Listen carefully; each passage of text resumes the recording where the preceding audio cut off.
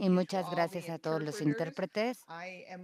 Me conocen por hablar rápido, entonces voy a tratar, tengo notas por todos lados para tratar de ser consciente para los intérpretes, entonces a ver cómo me va. Mi nombre es Pat Chamberlain y soy una educadora en Illinois Center. Me retiré como directora de los aprendices tempranos en la escuela de 46 en Elgin. Y desde mi retiro he tenido la oportunidad de hacer muchísimo trabajo alrededor de este estado haciendo, dando clases de idiomas, programas bilingües para nuestros aprendices más pequeños. El día de hoy nos vamos a enfocar en, estas, en estos grupos um, de niños más pequeños y las implicaciones que tienen también para Um, los niños más grandes. También me gustaría que nos tomáramos un minuto para poder hablar acerca de otro papel que he tenido yo um, dentro de mi retiro, que es ser parte de la Comisión de Educación del, gobi- del Gobierno para proveer educación. Entonces vamos a hablar un poco acerca de esto, pero principalmente vamos a hablar acerca de el cerebro de sus niños. Um, En abril, más o menos, tuve la oportunidad de habilitar alguna conversación con la doctora Patricia Cole and- y con Washington. Y ellos hicieron un intento para las educaciones, para las escuelas de educación superior alrededor de Illinois. Y debido a su investigación que ha estado viendo el desarrollo para los niños más pequeños y haciendo también a los niños que están aprendiendo de manera bilingüe en, dos, en el mismo momento. En verdad ha sido sorprendente con su investigación y es una política en Estados Unidos, incluyendo también al nivel federal. Lo que vamos a hacer ahorita es tomar algunos de los puntos más importantes que para mí me parecen fascinantes y hablando acerca de lo que hacen ustedes en todo- todos los días en casa y que les ayudaría a fomentar el cerebro de sus niños. Y yo creo que para nosotros esto es muy importante. Y el, antes de el nivel. Esto es muy importante, cómo ustedes interactúan con los niños, con los niños más pequeños de 3 a 4 años y en verdad cómo tiene esto un impacto en su vida y cómo ustedes tienen el poder de hacerlo. Y en verdad lo tienen. Vamos a estar viendo tres formas de, diferentes de lo que podríamos hacer todo el tiempo y eh, ver cuáles son las mañas y cuáles son las formas de hacerlo más intencionales para que sean más intencionales. Esto es lo primero que tendríamos que hacer con sus niños y en tercero, en verdad leer con sus niños. Entonces vamos a comenzar. Creo que esto es una pieza muy importante de la investigación de la doctora que les comentaba y es también el, la adquisición de un nuevo lenguaje alrededor de todas estas edades. De la edad de 3 a 7 es donde su cerebro está cableado para poder aprender un nuevo idioma.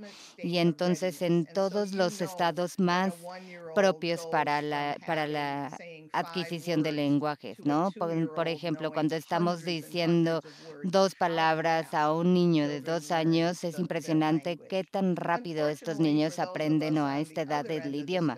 Al igual que del otro lado del espectro, entre 17 a 39 o incluso mi edad, que es casi el doble de esto, cómo nuestro cerebro se adapta, ¿no? Eso no significa que no podamos aprender otros idiomas, no significa que no podamos continuar aprendiendo y de hecho saber que es muy importante seguir aprendiendo para que los, nuestros cerebros que ya son más viejos sigan funcionando y se sigan moviendo bien.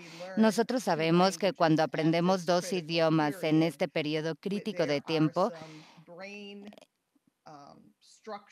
con, hay estructuras cerebrales que se desarrollan y que parecen ser protectivas en contra los signos del desarrollo. Mientras hay muchísimas razones muy hermosas para volverse bilingüe, a la edad de retiro en verdad estoy también batallando mucho por poder combatir el, Alzheimer. ¿Y qué es lo que significa? no? La edad prematura es muy importante.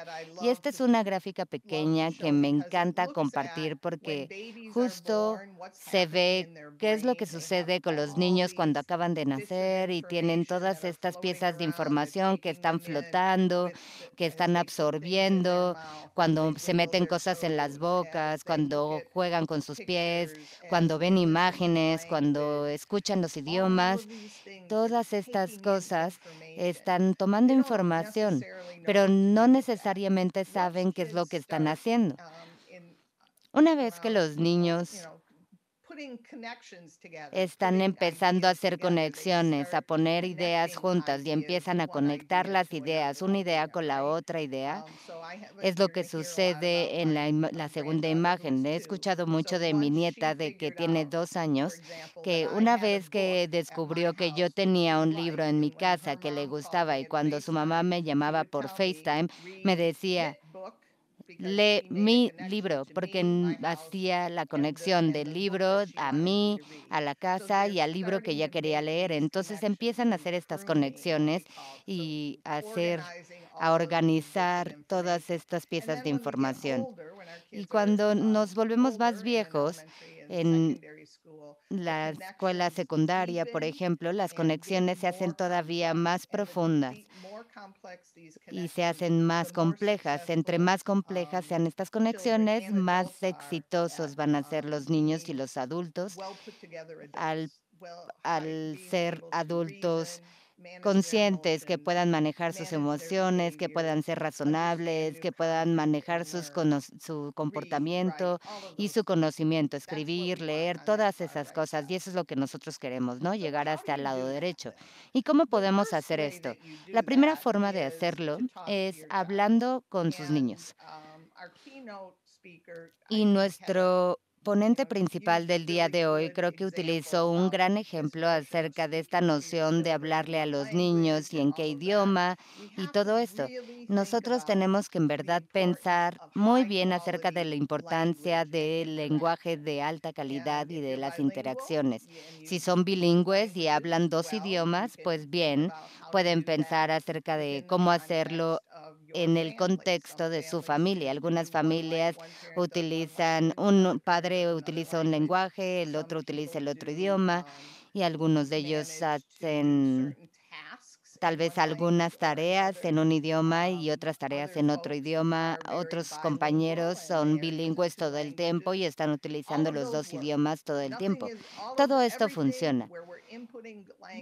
Cualquier momento en el que estamos dando alguna estimulación de um, idioma, todo eso está bien.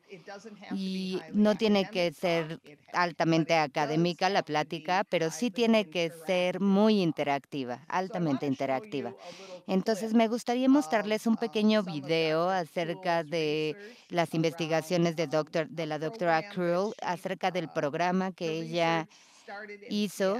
Su investigación comenzó en Seattle con los con hablantes de mandarín y estuvo haciendo investigación también en España para los hispanohablantes en el sur de España. Pero me gustaría mostrarles un pequeño video acerca de su primera intervención, su primer experimento de investigación, para mostrarles cómo se ve y cuáles fueron sus resultados.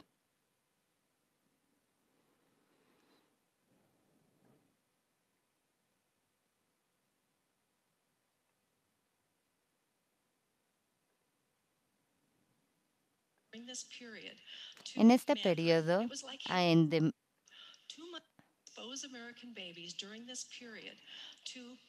Durante este periodo en mandarín era como tener parientes con, que hablaban chino mandarín y que hablaban con los niños entre las sesiones. Y así es como se veía en el laboratorio. Hablando en mandarín.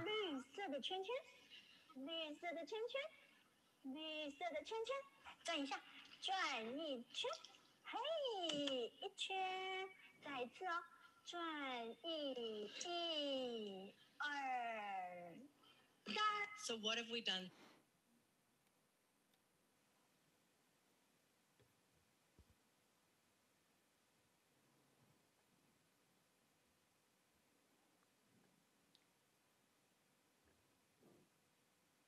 So Y entonces, um, hicieron este experimento durante um, 12 semanas con los bebés que hablaban inglés y les hablaban en mandarín. Y después de 12 semanas, los pusieron en esta máquina que parece una secadora súper antigua y midieron qué era lo que estaba sucediendo en el um, cerebro de los niños.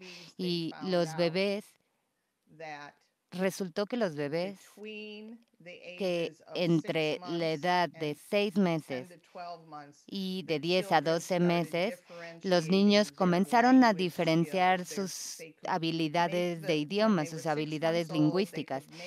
Cuando tenían seis meses podían hacer ya todos los, todos los sonidos de todos los idiomas en el mundo. Y a estos les llama eh, la doctora ciudadanos del mundo.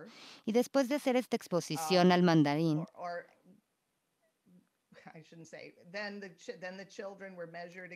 se volvieron a medir los resultados de los niños y se vio que entendían estos niños los sonidos taiwaneses y los americanos no los entendían. Después vieron que de hecho los niños americanos, de hecho, sí aprendieron los sonidos de mandarín cuando se les introdujo en este periodo crítico entre los seis y diez meses.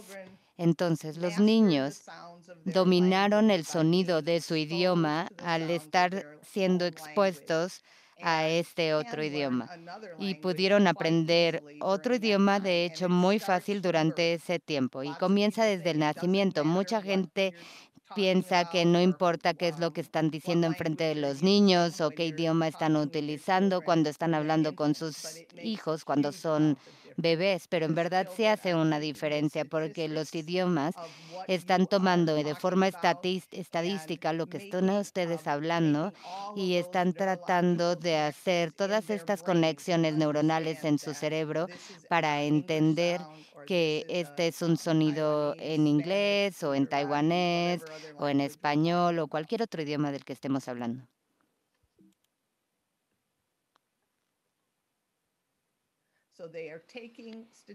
Entonces estuvieron tomando estadísticas todo el tiempo. Una de las cosas más importantes, además del el monto del idioma, de que los niños están escuchando, entonces queremos estar hablándole al niño desde su nacimiento, hablarles y hablarles y hablarles, y no importa de qué, simplemente díganles qué es lo que están haciendo, que están doblando la ropa, que están preparando la cena, que están viendo un tren afuera por la ventana, lo que sea que se les venga a la mente es buena información para ellos.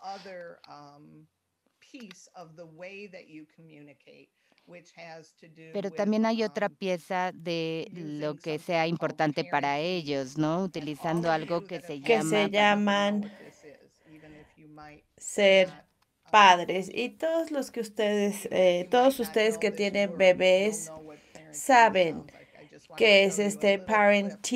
Les quiero mostrar otro, otra parte del video para que vean cómo se ve esto. Oh, me, me pasé mucho.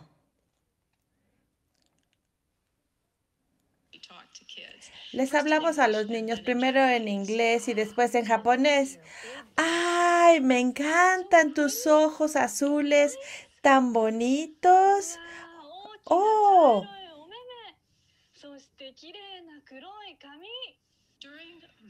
Durante durante esto. Sabemos que, um, que han utilizado este idioma como de mamita, Ay, papito. Ay, esta vocecita tan bonita. Yo le digo a And mi, um, a mi nieta oh, Checkpiece y le digo, ay, Checkpiece, qué emocionada estoy de verte. Exageramos los tonos en la voz, hablamos a lo mejor un poco más despacio, estamos alargando los sonidos y algunas personas dicen, habla como bebecito, algunas personas piensan que es malo. No lo es, es una de las herramientas más poderosas que uno tiene como padre de fa- take the familia para asegurarnos que los niños absorban las estadísticas, conozcan los sonidos del idioma y del inglés, si es que hablan dos idiomas en casa, y finalmente las palabras y la gramática. Así que poder utilizar este idioma parentis ha mostrado en la investigación de la doctora Cool que se desarrolla la parte del cerebro que conecta los dos hemisferios, el derecho y el izquierdo. Y esta conexión se fortalece aún más cuando involucramos esto, el parentis. Si esta conexión es muy fuerte, se ha visto que los niños tienen una mejor compresión lectora cuando van de tercero a quinto. Estamos cambiando la forma de la construcción del cerebro de los bebés, estableciendo estas conexiones. Estamos acrecentando la resistencia muscular del cerebro cuando los niños hablan en el lenguaje de bebé. Otra cosa que les quiero mencionar es, también se hizo un estudio controlado para ver si la persona que estaba enseñando el mandarín, si esta persona social era importante o si los niños podrían aprender esto a través de una pantalla o del audio. ¿Y saben That qué? um, Dr. Cool talks ¿Cuál fue el hallazgo? Estoy segura que no se van a sorprender porque todo el mundo pensó que a los Mandarin niños les iba a gustar tanto las pantallas, iban a estar hablando mandarín y se dieron cuenta que no. La interacción de los niños con las pantallas mostró que no había ningún aprendizaje nuevo en el cerebro de los sonidos de mandarín, tampoco el audio, escuchar el cuento o hacer las actividades que hacía la maestra, el adulto, no mostró que hubiera algún aprendizaje nuevo. Entonces, ¿qué fue lo que dio lugar al aprendizaje nuevo? Pues fue la interacción social. Y siempre me gusta contar la historia ahora en la pandemia que estoy segura que ustedes vivieron lo mismo. No podía ver a mi nieta, me dolió mucho. Imagínense. Entonces, ella eh, es solo uno. Y la verdad, yo dije, oh, de nada va a servir que estemos en FaceTime porque ya había leído yo esta investigación. Y en FaceTime Necesitamos la dimensión social, la interacción social. Pero eso es lo que distingue. Si colocas a un niño enfrente de una pantalla a jugar, si no hay interacción social y que una persona responda, esa interacción es la adecuada para niños pequeños, sobre todo los que tienen front of a uno, dos, screen tres to años. Sentarte a un niño enfrente de una pantalla y que observe pasivamente no ofrece buenas oportunidades para aprender el idioma. No cambia los cerebros de los niños de la forma que lo hace la interacción social, como lo hemos visto. Entonces, hay que asegurarnos que les hablamos a los niños, si son pequeñitos, utilicemos este lenguajito del bebé para asegurarnos que estamos muy animados y hay que asegurarnos que es así desde la infancia cuando uno le está cambiando el pañal al bebé y le dices, oh, te hiciste pipí y el bebé dice, oh, oh Dios mío, sí, tienes razón, sí te hiciste. Oh. Y los bebés se ríen y sonríen y esta interacción es la que da eh, este efecto de construcción en el cerebro de los bebés. Y no es lo mismo cuando observan una pantalla pasivamente. También hay una investigación, pero no tiene nada que ver con esta presentación. Simplemente se las voy a comentar. Es en el desarrollo ocular el efecto que tiene eh, para los ojos de los niños pasar tanto tiempo en la pantalla. En otra ocasión podré presentar esto.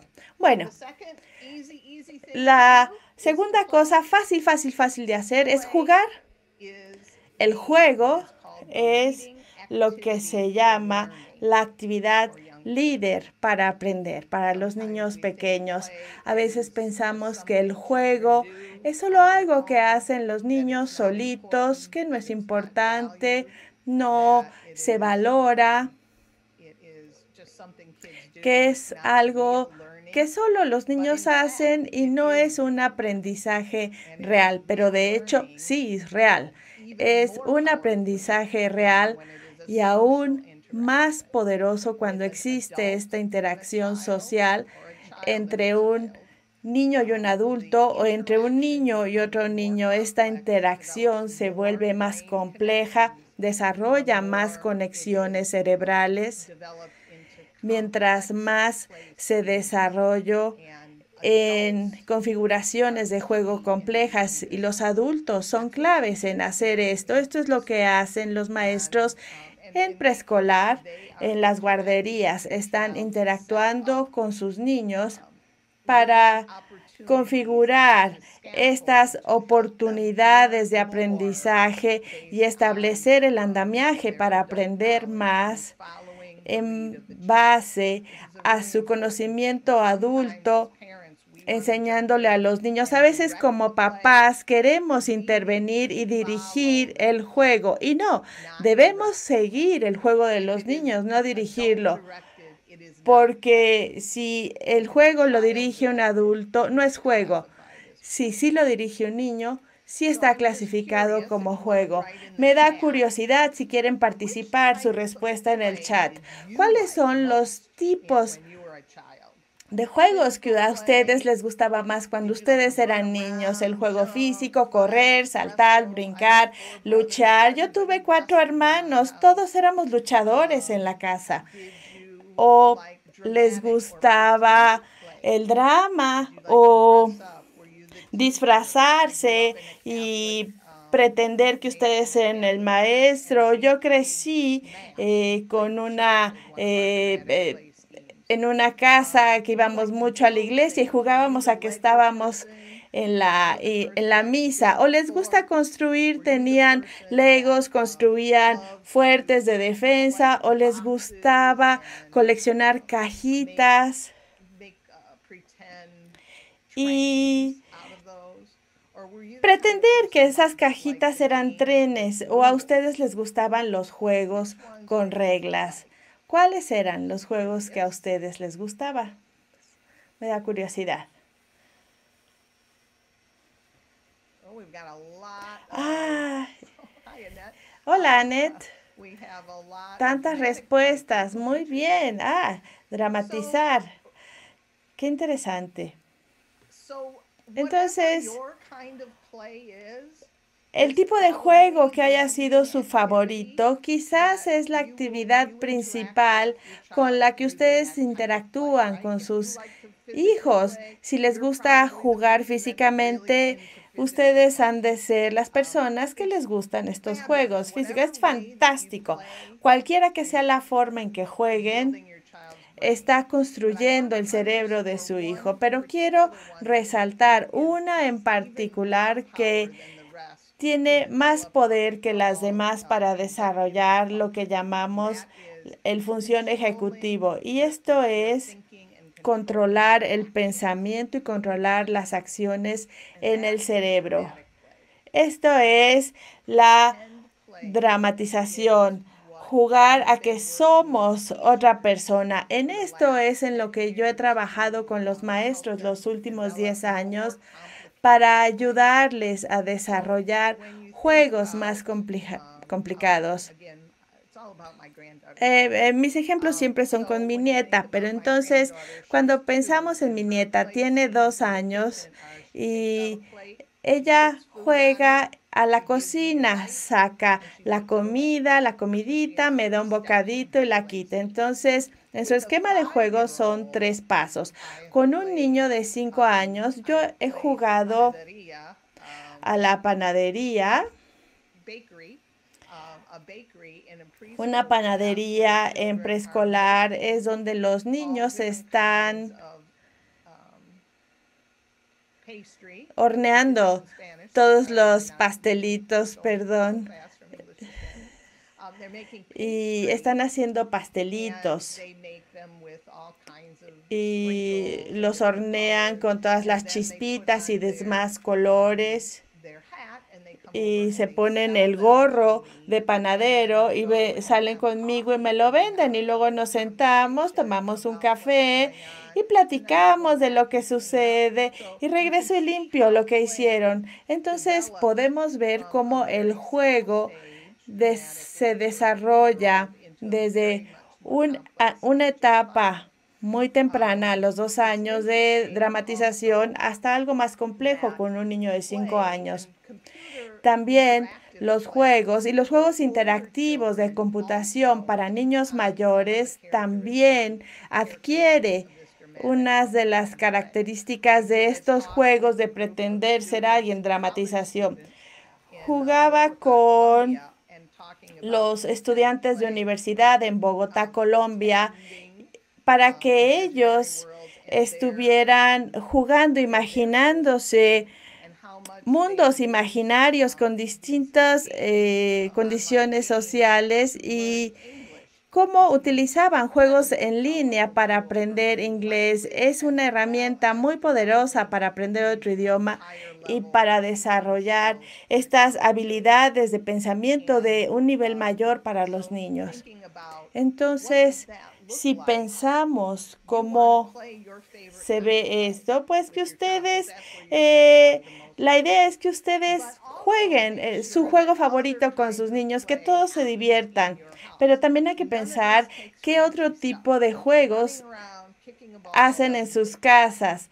Eh, correr, patear una pelota utilizando un juego dramático. No hay que comprar disfraces caros que venden. Simplemente se pueden poner una blusa, un mandil, una bolsa y con eso es lo necesario. Y de hecho, mientras menos accesorios se compren para esto, esto va a permitir que los niños desarrollen más su imaginación, que la usen esa imaginación y su creatividad, porque esto en el cerebro se traduce en estas partes que se están fortaleciendo porque son las mismas que les ayudan a los niños a entender una idea cuando la leen en un libro.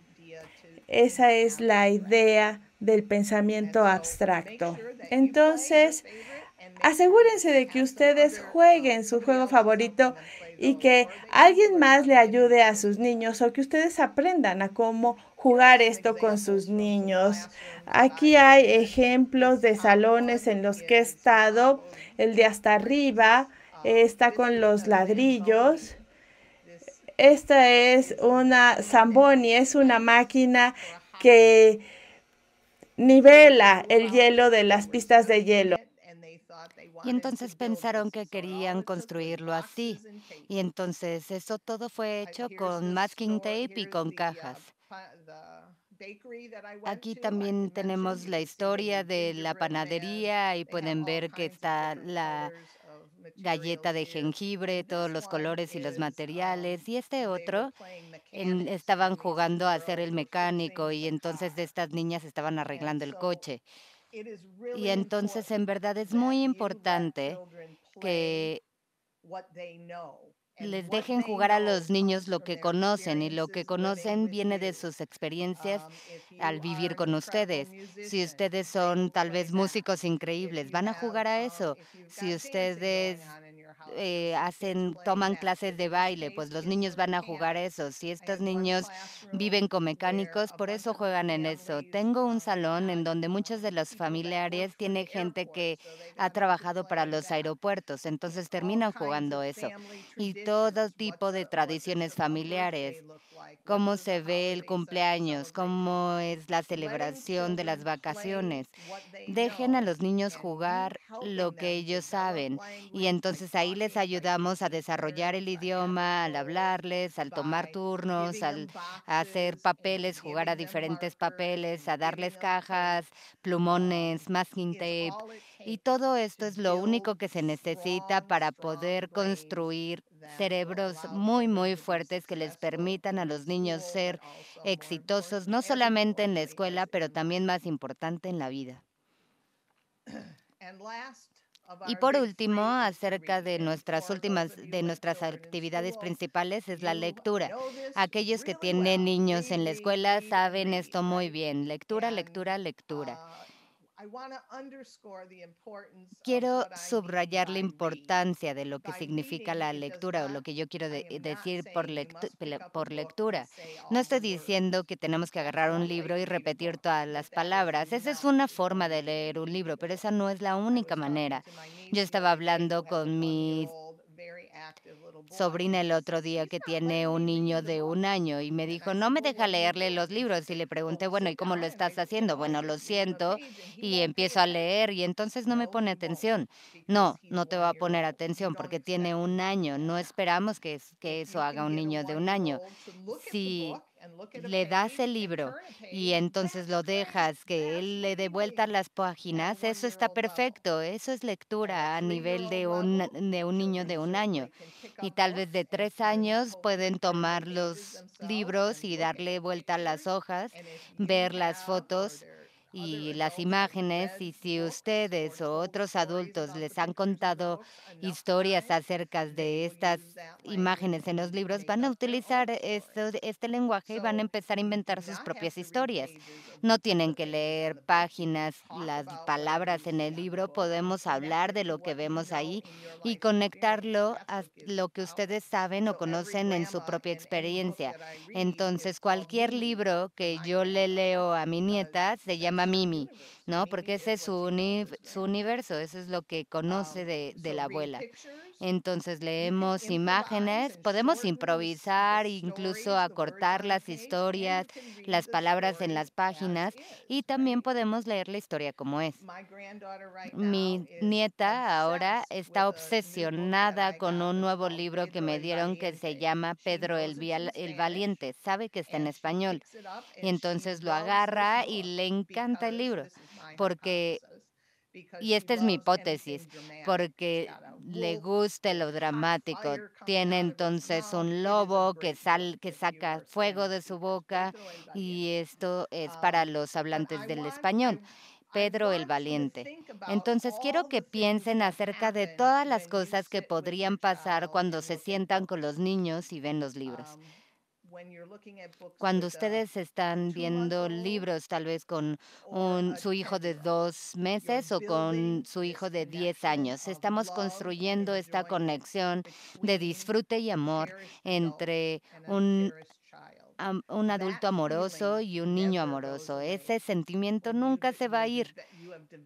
Ustedes desarrollaron ya en su cerebro esta conexión emocional hacia la lectura, que en verdad es muy poderosa. Los niños aprenden a manipular los libros, cómo poner atención, aprenden a entender historias. Entonces me gustaría mostrarles un pequeño video de mi hermosa nieta y ella tiene un año y medio y le dieron un nuevo libro para Navidad.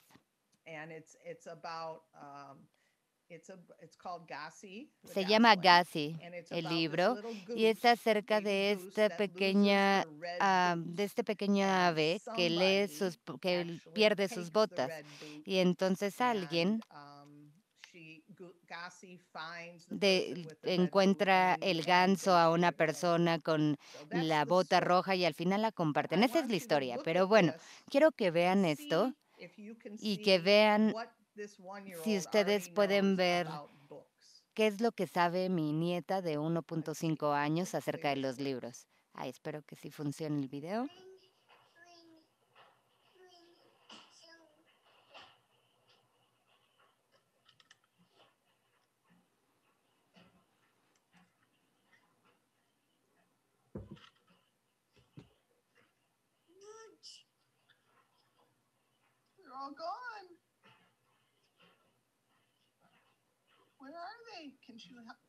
Se fueron. ¿Dónde están? ¿Lo puedes encontrar? Sigue buscando. Busca más.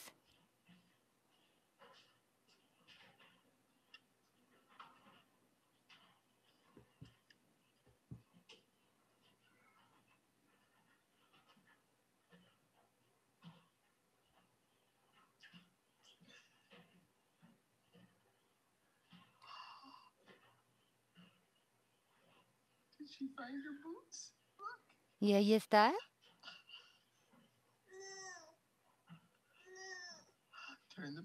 A ver, dale vuelta a la página Dale vuelta. y a ver si puedes encontrar más.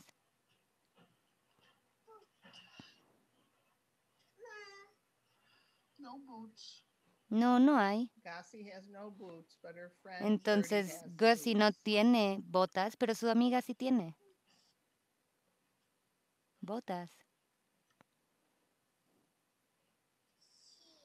That's share, right? Are they sharing? Eso se llama compartir, que están compartiendo.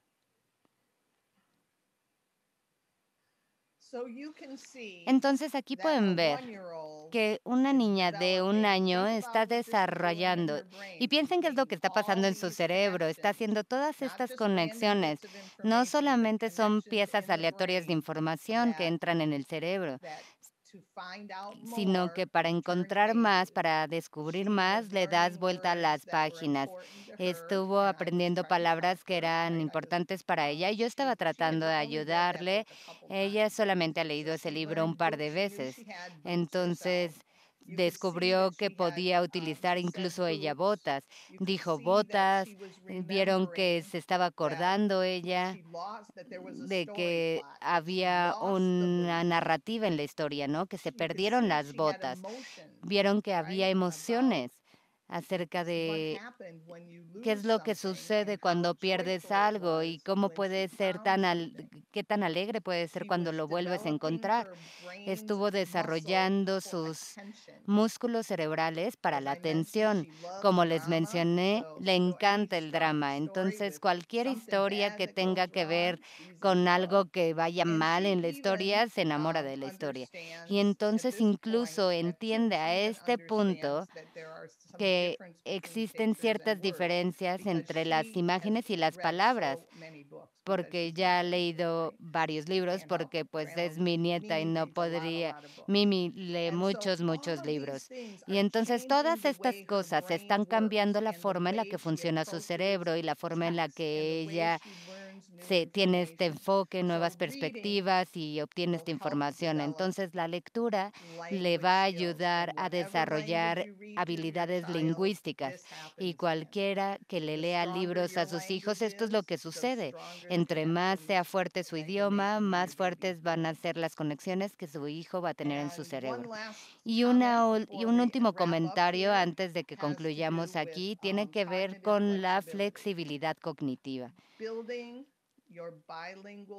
El construir o fomentar sus- el cerebro lingüístico de sus niños le va a otorgar flexibilidad cognitiva. No, e- no sé si ustedes puedan ver a la señora joven o a Um, la señora vieja. Pueden escribirlo en el chat, pero la vieja tiene aquí su boca y la jovencita tiene su nariz acá arriba. Pueden ver las dos o solo una. La gente que tiene increased cerebros fuertes bilin- flexibility. bilingües tienen una flexibilidad cognitiva aumentada. Son mejores en resolver problemas, saben más acerca del idioma, son más creativos en su pensamiento. Entonces, este es el don o el regalo. Si ustedes pueden hablar, leer y jugar con los niños, y esto es lo que les estarían dando. Ustedes están cambiando la forma en la que se ve el cerebro del hijo, del niño. Y quiero terminar con un infomercial tipo acerca de la comisión fondeadora del gobernador. Yo fui parte de esta comisión de financiamiento y esta comisión ha hecho tres grandes recomendaciones acerca de la infancia temprana. Una, tratar de desarrollar un sistema. Dos, ahí está mi nieta. Ya casi acabo, bebé. Dos, perdón. La primera es poner más dinero en el sistema de la infancia temprana. La segunda es que este sistema que sea más fácil para poder darle eh, o tener acceso a los servicios y a la información de la infancia temprana para los niños de cinco años. Y el tercero sería entonces cambiar la forma en la que nosotros hacemos pagos en el sistema. Hay dos partes importantes que espero que puedan poner atención a eso y si van a la página del gobierno van a poder mantener o rastrear esto. La comisión ya se acabó, hay otro grupo que está empezando a planear esto y este grupo de planeación va a empezar a estudiar más acerca de la infancia temprana y de los, eh, de los hablantes de inglés y de los niños con discapacidades. Nosotros queremos asegurarnos de que el enfoque y este trabajo continúe y porque nosotros sabemos cómo son los cerebros de los niños y cómo se está desarrollando y esto va a ser impactado por las decisiones y el apoyo que el gobernador y que el grupo pueda darle a estos programas de infancia temprana, a los sistemas de las escuelas y también a las familias. Entonces, les fomento que vean la página de internet de la comisión y que se mantengan al tanto de lo que está sucediendo. Entonces, me gustaría dejarlos con estas últimas palabras y una disculpa por esto. La forma en la que nosotros les hablamos a nuestros niños se convierte en su voz interna. Y habiendo dicho esto, me gustaría agradecerles a todos por todo lo que hacen y muchísimas gracias también por construir la siguiente generación. Ya voy. Y también les voy a mostrar por qué, por qué soy así. Miren, ven para acá. Este es el libro que le gusta leer. Diles hola a todos.